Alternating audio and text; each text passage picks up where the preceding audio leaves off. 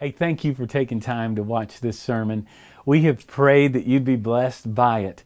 Uh, we want you to know, too, we believe that this is really supplemental uh, to your, your experience in the life of a local church.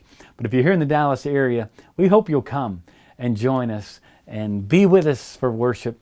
We pray this blesses your life and you're drawn closer to Christ as a result of this message.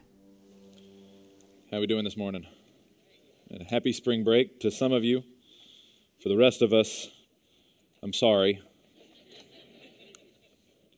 I'm sorry. Uh, many of you probably know, uh, my name is Travis. Uh, I'm the singles pastor here at Park Cities Baptist. And one of the things that I really enjoy is I enjoy reading. I enjoy reading a lot. In fact, I saw a t shirt today that says, I read and I know things. And I feel like that's basically what I have to offer to the world. I read and I know things. But one of the books that I've, I've really taken a liking to, and I, I took a liking to it after I got older, uh, was the Lord of the Rings trilogy. And some of you have read it. Some of, how many of you have seen the movies at least? How many of you watched like the director's extended version that lasted 400 hours? And yeah. So, uh, one of the great uh, lines from that book that's not necessarily in the movie, the scene is in the movie, and it's the scene where, where the, the party has just lost Gandalf. Uh, I won't get into all the details of that it was in the mines of Moria and all that. You don't need to know that. But they've just lost Gandalf, and they, they go and they, they stay with um, Galadriel, who's played by Cate Blanchett. She's one of the elves, and she's one of the oldest elves, and she begins to talk to Frodo. And she says this to him, and I'll read it to you. It says, I passed over the mountains, and together through the ages of the world we have fought the long defeat. But even now there is hope left. I will not give you counsel saying, Do this or do that, for not in doing or contriving, nor in choosing between this course and another can I avail, but only in knowing what was and is, and in part also what shall be. But this I will say to you your quest stands upon the edge of the knife. Stray but a little, and it will fail, to the ruin of all. The long defeat. I have fought the long defeat. We're talking about grief and joy this morning.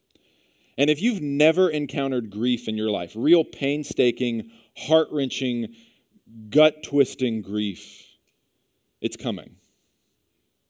And I'm sorry if you came here for a, a, message of joy in that regard, but grief is something that will come to us all. In many ways, we are fighting the long defeat. Most of life for somebody, especially that's not a believer, not a follower of Jesus, it's staving off as much grief as you can and getting as much happiness and contentment as you can. That's the summation of life for many people that don't know Christ.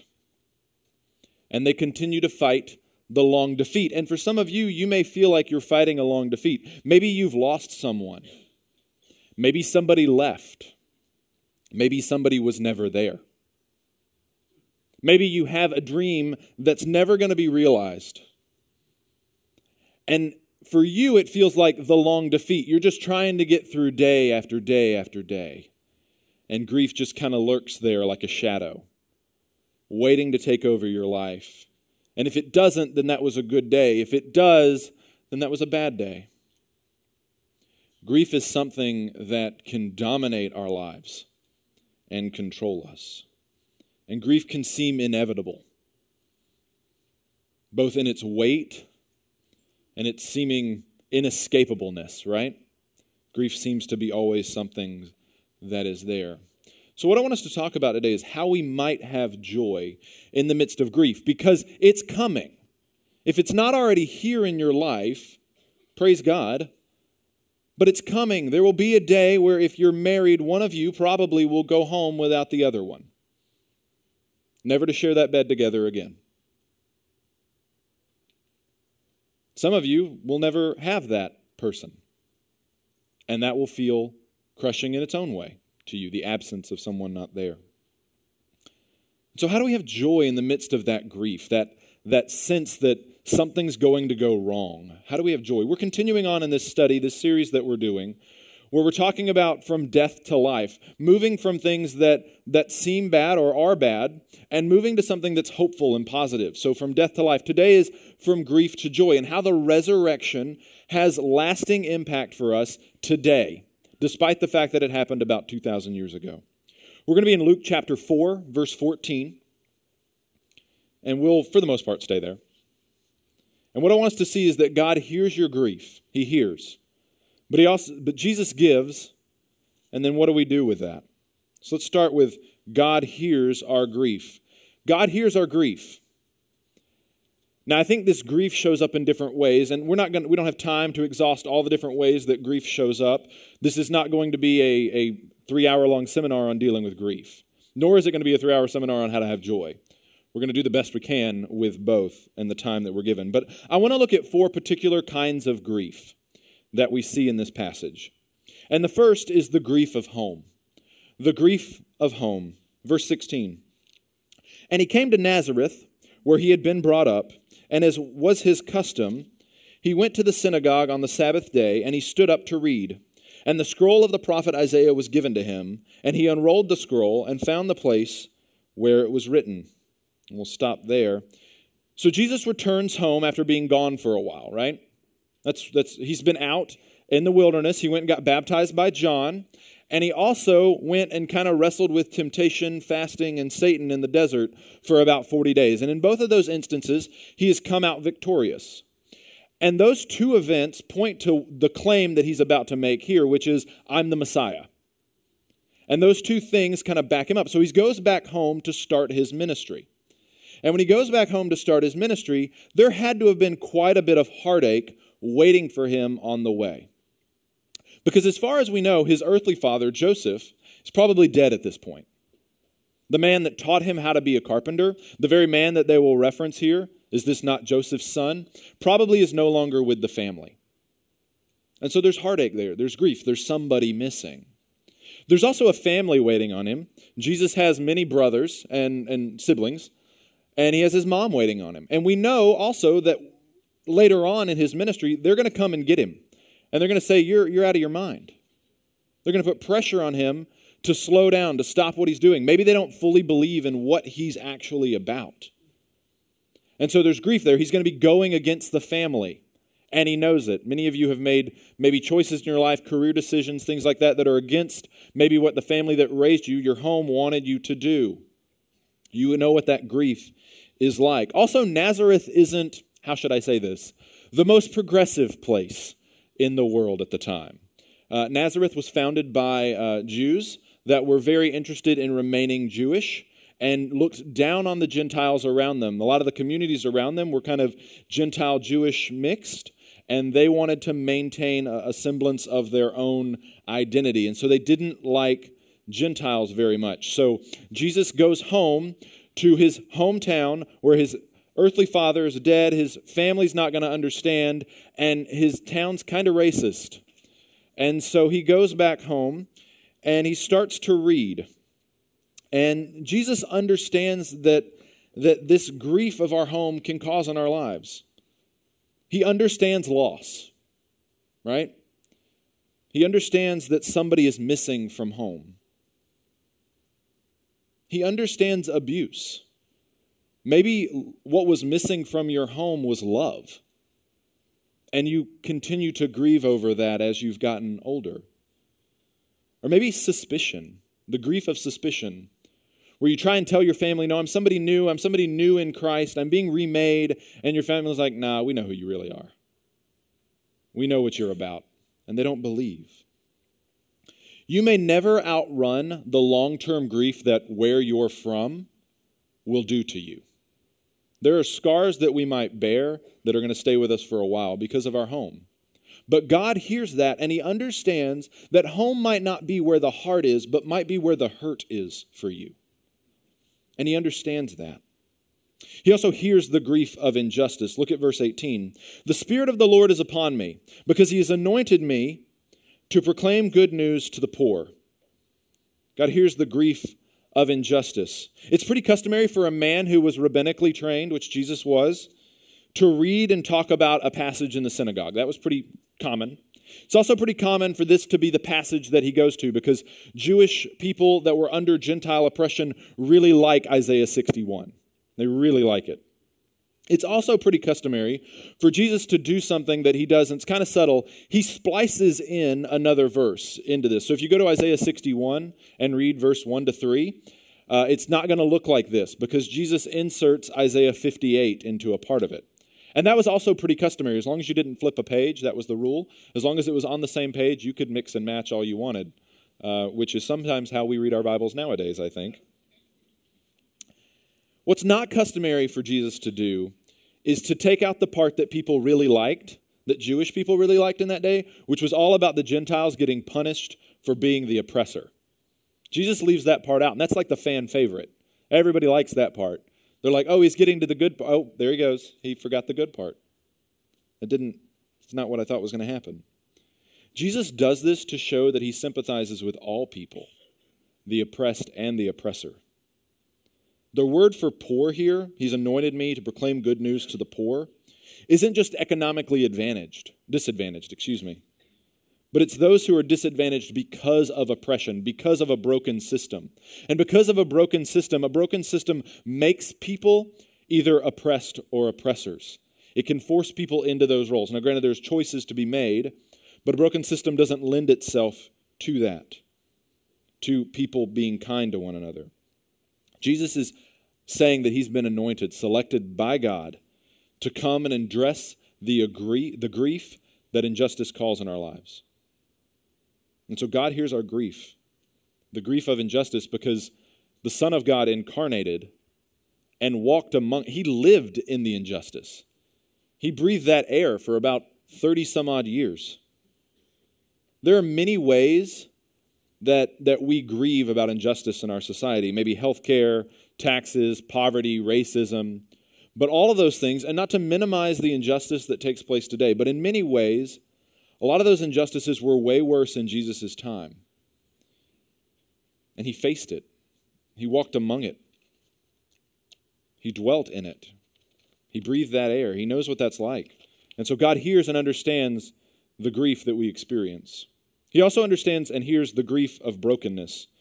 Continuing on in verse 18, He sent me to proclaim liberty to the captives and recovering of sight to the blind, to set at liberty those who are oppressed. Jesus continues to read, saying that God has anointed him to have victory over what I'm calling just brokenness. This can look like all sorts of things in our society war, displacement, sickness, death. All these things that sort of imprison us, that kind of hold us captive, the grief that really grips us. Those are the big ones, right? Prophets often did and, and can go and they can they would proclaim that the end was coming the end of all this evil is coming it's, it's, it's coming it's coming but not one of them was able to say and i'm here to bring it about jesus is different he's saying the end is coming and guess what it's already here it's me and we'll see that a little bit later on god hears the grief that makes us weep and wail because of the brokenness in our world there are tragedies that happen in our world that are just accidents, things that we see on TV and we think to ourselves, that shouldn't have happened. And often when that takes place, we look for someone to blame. How many of you heard the story, I think it was last week, uh, of a two year old girl in a Payless shoe store that was killed? A mirror in the store, just a mirror in a shoe store that you used to look at shoes, fell off the wall and, and hit her and killed her. She was two. And I read that story and I thought to myself, that, that shouldn't have happened. Now, maybe there was a safety issue. I didn't really get into who was at fault. I know they're looking into it. But there are tragedies like that that happen that take away a beautiful life. And we grieve over it. Now, I grieve over it differently because it's not my child, but I still grieve because I think to myself, that shouldn't happen, right? And I don't want to just outright dismiss the problem of evil, that God is sovereign and yet there's still evil in the world. We just don't have time necessarily to dig into that philosophy today. But what you need to know is that God hears that and grieves with you. And for our purposes this morning, that will have to be enough. But he also hears the grief of the grieving. The grief of the grieving. Verse 19, he says that to proclaim the year of the Lord's favor. To proclaim the year of the Lord's favor. The year of Jubilee is another word for year of the Lord's favor. And the year of Jubilee was an event that took place in the Old Testament about every 50 years, where if you had to sell off a piece of property because you were in debt, guess what? You got that piece of property back. Be kind of cool, right? Or if you had sold yourself into slavery because your family was impoverished, at 50, guess what? You were turned back loose. The year of Jubilee, you were released back to your family. Now, grief is mourning over something that is lost, whether it's been something we had and lost or something that we'll never have and have lost.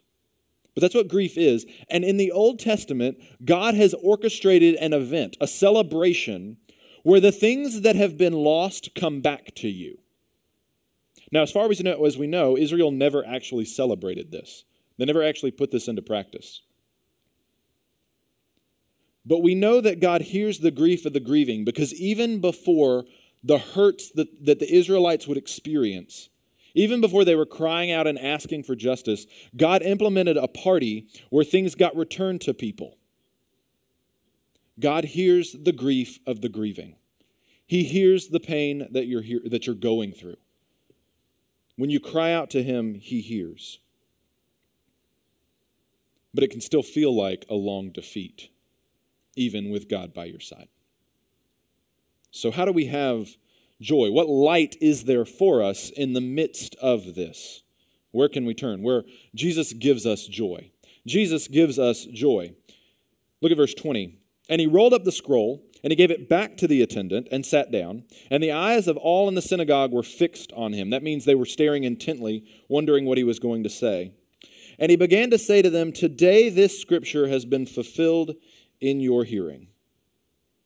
Jesus' person and his work offers us hope in the midst of our, of our grief. You see, the expectation of the Jews was that when the, when the new kingdom came in, when the kingdom was ushered in, the Messiah would come and take away, he would alleviate all of these problems. And Jesus is saying, guess what? That time that you're looking for, that time that you've been looking for, that the prophets have been pointing to all this time, guess what? It's fulfilled in me. It's my time. I'm the one that's going to do all of this. And the word is fulfilled. It says, Today the scripture has been fulfilled in your hearing. That word fulfilled is in a perfect tense, which, not to get too much into Greek, but that means that it's something that happened in the past but has present ramifications. So that means that something took place in Jesus' day, so it has been fulfilled, and now it has implica- implica- implications and ramifications for us today and even in Jesus' ministry as he goes on. So, what I would like to do is I want to test Jesus. That may make you a little uncomfortable. It's okay. We're just going to use scripture. I want to see if he actually backs up what he says. If he says that the, the time that we're looking for is here and it's present, then we should be able to see the four griefs we just talked about addressed by Jesus in the scriptures. Because the kingdom has been ushered in, the first fruits of the kingdom are here in Jesus Christ, and we'll see the full fruits of the kingdom when he returns. So I want us to look at four verses or four passages together and see where Jesus offers joy in the midst of grief. Now, for the sake of time, we're not going to be able to read each passage. I'm going to give you the reference, and you can verify, check me at home uh, another time, okay?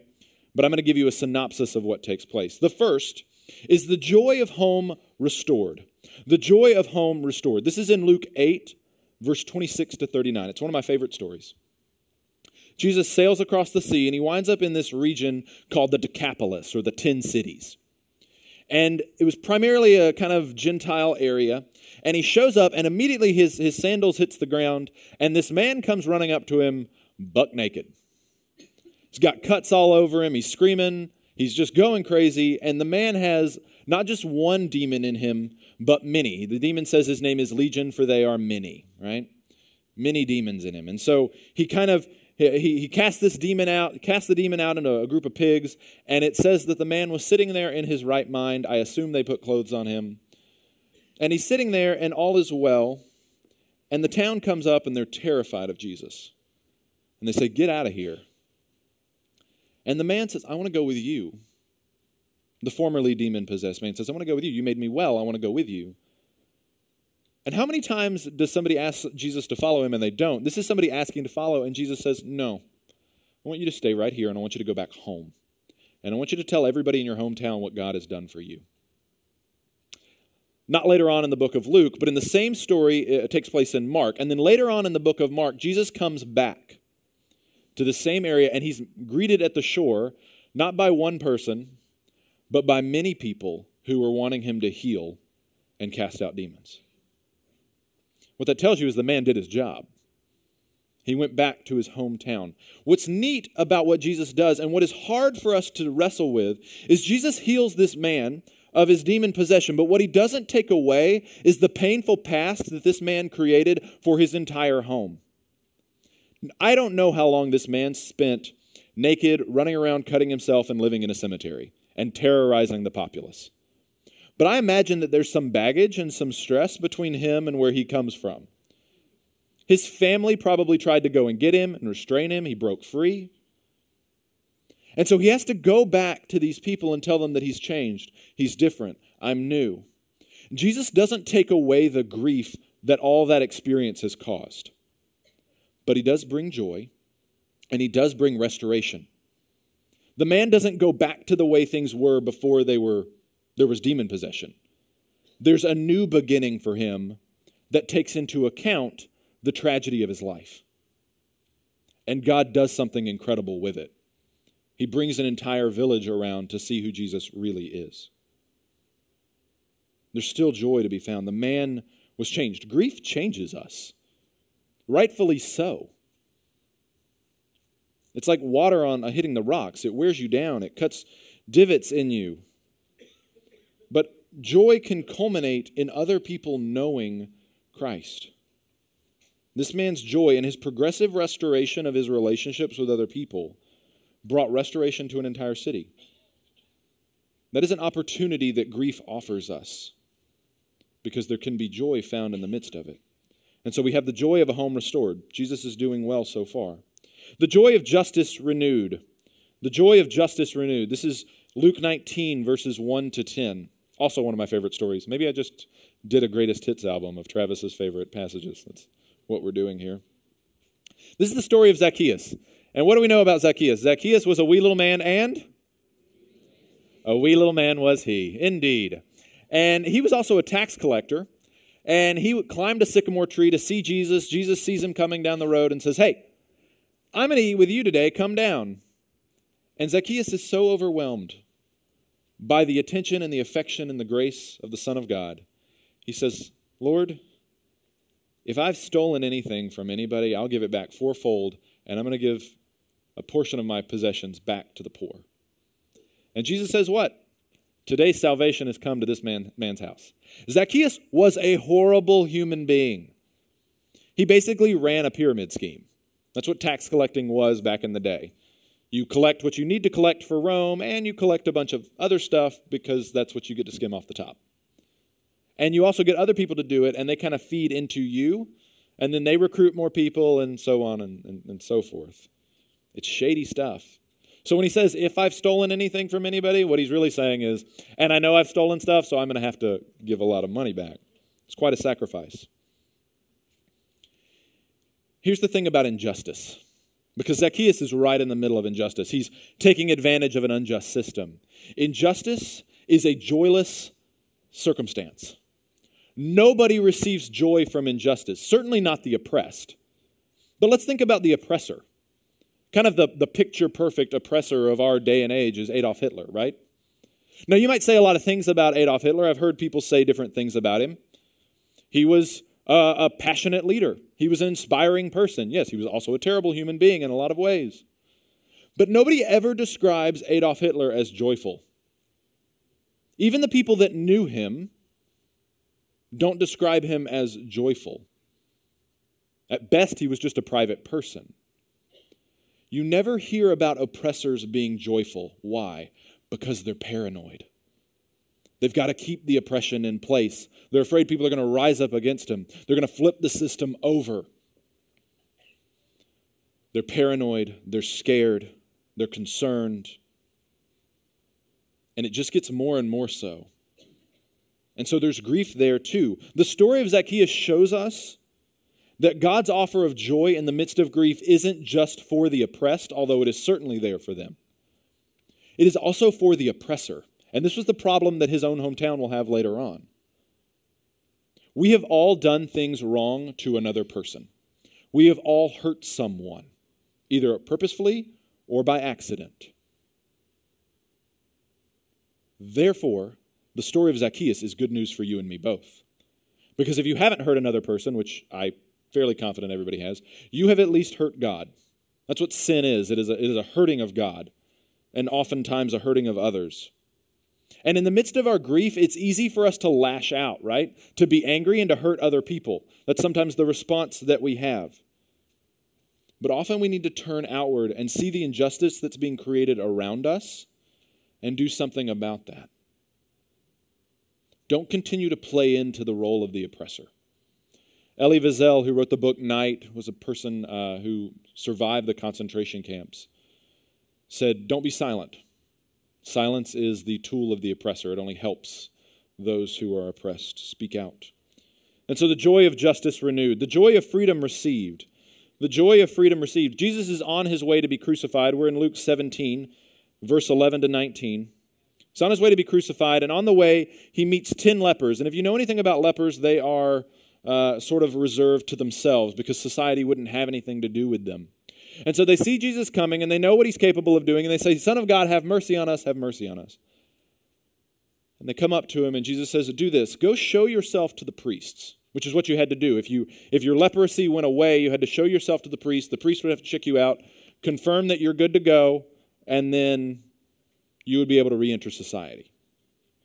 So he says, Go show yourself to the priest. He doesn't heal them. He says, Go, show yourself to the priest. And as they're going, they become healed. Well, the rest of them, they all get excited. The rest of them keep going on. But one man, a Samaritan, turns back and goes back to Jesus. And Jesus says, Weren't there like 10 of you guys? Your faith has made you well. Go. The joy of freedom renewed. Grief can often feel like a prison, and it's just got you caught. And no matter where you turn, there's just bars on the windows that you look out on life because the bars are, are the loss that you feel, right? You can still see the world, but the world that you look at looks different. It's, it's, it's tinted in a different shade than what everybody else sees because of your grief. And so, even though you have a window into the world, that window has bars on it. And you can't get out, and you feel imprisoned, you feel captured. But what kind of freedom does Jesus offer us? Well, what do the lepers do? The lepers have three responses that I think we can emulate in order to kind of have freedom in the midst of our grief and have the joy of freedom in the midst of our grief. One, they cry out to God. They say, Son of God, have mercy on me. And he does. They obey what Jesus tells them to do. This one's a hard one. He says, Go show yourself to the priest. He doesn't say, I'm going to heal him. He doesn't make any promises. He doesn't guarantee anything. He just says, Go show yourself to the priest. Now, I personally would feel like Jesus just kind of blew me off right there. But they go and they obey and they do what he says to do, and they are healed because of it. And then the last thing they do, or at least one of them does, is they worship during their relief. Grief will keep you from doing a lot of things. Grief can be so crippling that you don't want to get out of bed. Grief can keep you at home. Grief can also keep you around people constantly because you don't want to go home because it's lonely. But nothing Grief or anyone else can keep you from doing those three things. There is nothing that can stop you from crying out to God except for yourself. There's nothing that can stop you from asking for help. There's nothing that can stop you from obeying Jesus Christ. And if you say, well, they might take my life, well, yes, they might, but even that is obedience. Nothing can stop you from worshiping God in times of relief. Often, when we feel the relief from grief, we just run and do whatever we want, like the lepers did, the, the other nine. It's like, oh, yay, we're done. Okay, cool. Let's let's go do what we want to do now, rather than going back and returning to Jesus and saying, God, I don't know how long this break from the crippling grief I feel is going to last, but thank you for it, and may it continue on. Rejoice in the freedom that Christ offers, because he offers quite a bit. The joy of grief redeemed. I'm actually going to read this passage to you. This is chapter 16 of John, verse 20. And it says, if I can find it, there it is. Truly, truly, I say to you, you will weep and lament, but the world will rejoice. You will be sorrowful, but your sorrow will turn into joy. When a woman is giving birth, she has sorrow because her hour has come, but when she has delivered the baby, she no longer remembers the anguish for joy that a human being has been born into the world. So also you have sorrow now, but I will see you again, and your hearts will rejoice, and no one will take your joy from you. Jesus is having kind of his last words with his disciples. He's telling them, I'm going to go away, but I'm going to come back. I'm going to be returned from the dead. And when that happens, you will have joy that no one can take from you. Our grief is redeemed by the resurrection of Jesus Christ. Our grief is redeemed by the resurrection of, of Jesus Christ. We will see him again when he returns. And when that happens, we'll have exactly what the disciples had joy that nobody can take away from us, no matter what loss we've experienced. Our grief is redeemed. I can't tell you that everything is going to be okay. I can't tell you that in the end it'll all work out, at least the end being this life. You ever watched a show and, and you're really into it, and then you get to the end of an episode and it says, the worst three words ever in television to be continued, right?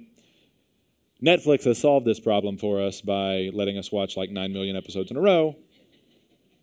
But to be continued. And it always happens at the end of a season, so you've got to wait till like the fall, right? When you are in the midst of grief, and it is soul crushing, crippling grief, I want you to remember three words to be continued. Because there's a second half of your story. There's ne- another season coming.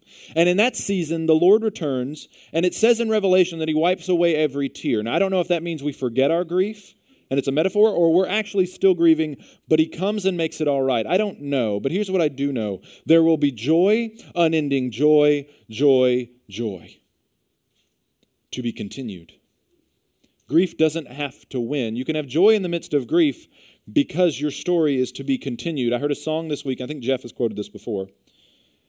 Uh, it's it's a, a, Sandra McCracken is the name of the artist, and she has a song, and it says, uh, "This is not. It is not okay because it's not the end, and so I know it's not the end because it's not okay. It will all be okay in the end. If not in this life, it will be in the next." So what do we do until then? What do we do in the meantime? Well, we follow Jesus in our grief and we follow Jesus in our joy.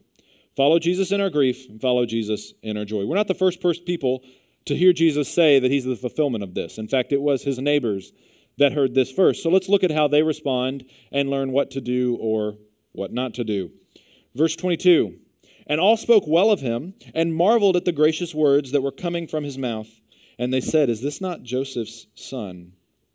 We need to believe his promises. You see, the uh, people in his day heard him say this and they thought to themselves, wait, we know this guy. This is the carpenter's son. Didn't he fix my table? Where does he think he's the Messiah? The, uh, the table's pretty well made, I guess, but I don't know that he's the Messiah. Isn't this Joseph's son? When Jesus comes and makes a claim that he comes to bring us joy and to heal us of our grief, it is easy for us to do the same thing that the disciple or that his neighbors did. Yeah, but weren't you a carpenter like 2,000 years ago? You don't possibly know what I'm going through right now. You have no idea what kind of hurt I'm experiencing. You have to trust in Jesus' promises. And now, what I'm about to say might be a little difficult to hear. But I think there are times where our grief is so bad that maybe we can't believe. The hurt is just too great. That is when you need a community around you to believe with you. And here's the, the tough part, maybe believe for you, to trust for you. That's why we harp on connect groups all the time. We don't want you in a connect group just because we like seeing a whole bunch of people here. I mean, we do, it's cool. I want you in a connect group because you might not be hurting right now, but guess what? One day you will be. And that is not the time to get involved with a bunch of people for the first time. You'll have want, wanted relationships with solid believers who love the Lord, who are pursuing Him years before that. Now, if you're in the middle of grief, guess what? I think connect groups are really good at triage as well. And they can come in and they can help you as well. But don't wait for the hurt to start before you start seeking other people. Find other people to believe his promises with and follow him. Don't focus on your own grief. Verse 23. And he said to them, Doubtless you will quote to me this proverb Physician, heal yourself. What we have heard you did at Capernaum, do here in your hometown as well. And he said, Truly I say to you, no prophet is acceptable in his hometown. But in truth, I tell you, there were many widows in Israel in the days of Elijah, when the heavens were shut up three years and six months, and a great famine came over all the land. And Elijah was sent to none of them, but only to Zarephath in the land of Sidon, to a woman who was a widow. And there were many lepers in Israel in the time of the prophet Elisha, and none of them were cleansed, but only Naaman the Syrian. What you need to know about this passage, or what Jesus is quoting, is that the Elijah and Elisha didn't go to Jews, they went to Gentiles. And this riles his crowd up. Jesus knows that the people in his hometown want him to put on the same show that he put on in other places, doing miracles and things like that. There will come times in your life where you're grieving and you're going to ask the Lord to fix something and he doesn't, but you see him fix it in somebody else's life. And that will make your grief even worse because you'll think, what did I do wrong? Why didn't, why didn't God heal that? Why didn't Jesus take care of that? Because I asked him to and he didn't, but he took care of that person's thing. What's the difference? I'll tell you what the difference is. The difference is the sovereignty of God. God has chosen to do something one way and not the other. You cannot look at how God has healed other people's grief and be frustrated with the fact that He hasn't healed yours. I guess you can be frustrated, but not angry with Him for it. Because comparison is the thief of joy. When you start comparing yourself to everybody else and what they have and what you don't have, whether it's grief or material possessions or whatever, satisfaction will be removed from your life quicker than you can blink. So when you are grieving, go and serve other people. I think it's, it's very helpful to do that. I think it's one of the reasons why when somebody loses a person to cancer, they go and get involved in cancer raising awareness and things like that. It, it, it's because serving people and, and kind of fighting that same thing helps with the grief. I think there's a very practical reason to do that, but I also think it just helps us love one another well. Grief wants you to look in on your own self, and there's a place for that. But joy wants you to share it with other people. And so, for us to do both, you have to be willing to serve even in the midst of your grief. And then lastly, don't push Jesus away. Verse 28 When they heard these things, all in the synagogue were filled with wrath. And they rose up and drove him out of the town and brought him to the brow of the hill on which their town was built, so that they could throw him off the cliff. But passing through their midst, he went away. They become really angry with Jesus and they want to chuck him off a cliff. And that does not happen. When we grieve, we try to push Jesus away as well which is crazy because he is the one person that can help in the midst of our grief. We like to ask a lot of questions, right? God, why did this happen? Why did this have to happen? Why did this have to happen? And I think that's fine. As long as you remember one thing when you're asking those questions your questions are coming from up here, but your grief is coming from right here. And so I could, if you were going through a traumatic experience, and I could sit here with a whiteboard and break down every reason why God is doing what he's doing and what he's choosing to do, it may answer every single question you have, but here what is what it won't do. It won't heal the hurt in your heart because it's an intellectual question to a heartfelt spiritual need, and that is something that only Jesus Christ can address. Jesus felt the grief on the cross. When we feel grief, it is incredibly painful and powerful. But know this Jesus felt all of the grief on the cross, and it literally killed him all the grief in the world poured out on him, and he died to fix our griefs. Whatever grief we have caused, whatever grief has been done to us, Jesus Christ died so that we might be healed from those griefs. And so today I ask you, what grief do you have, and how can you be healed? Maybe you need to join our church. Maybe you're missing community. You're alone. And that's a terrifying place to be in your grief. Come to our next steps room and join our church. Maybe you need to get baptized. Maybe your grief is that you're following Jesus, but something's missing. Maybe it's baptism. Maybe you need to trust Jesus for the first time. Maybe your grief is what I heard an atheist say once I don't believe in God, but I miss him. Maybe your grief is that you miss God. because you've never had Him. We can fix that grief today. Come and talk to us. Our grief, God hears, but Jesus brings us joy. And in the midst of grief or joy, no matter what season you're in, maybe it's both, we follow Jesus every day because that is what believers do. Let's pray. Father God, thank you for your word. Again, as we come to it, Lord, and we come to a passage that doesn't even mention the word grief, but yet all over the page is what you do and how you have done to solve the problems of the hurts and brokenness in our life.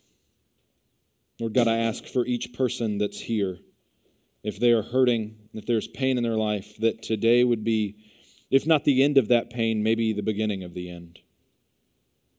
They would begin to know the joy that they have in you. I pray that you would guide them through this week, give them uh, little stop points along the way where joy is injected into their life from other believers, from friends, from family, from your word, maybe just from a beautiful day outside. And that we might have joy, joy that doesn't rest in our circumstances. And Lord God, we trust you. We trust you in the midst of our grief, we trust you in the midst of our joy.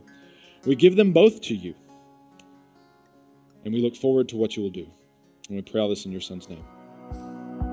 Thank you for taking time to watch this sermon. If you would like more information about our church or following Jesus, please go to our website, pcbc.org, or contact our church offices. We hope to see you next week at church.